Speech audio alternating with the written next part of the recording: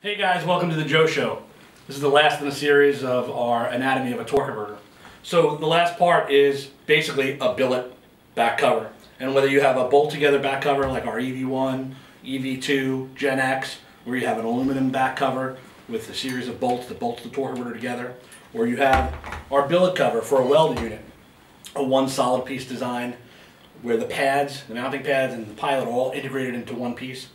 This part either welds or bolts to the pump impeller, and that's directly connected to the crankshaft via the flex plate. So basically this part is spinning at engine RPM at all times. The job of the back cover is to bolt the impeller, or weld, the impeller to the engine crank. That's what transfers the power from the engine to the pump, and the pump to the impeller, and the impeller to the input shaft. Have a great day.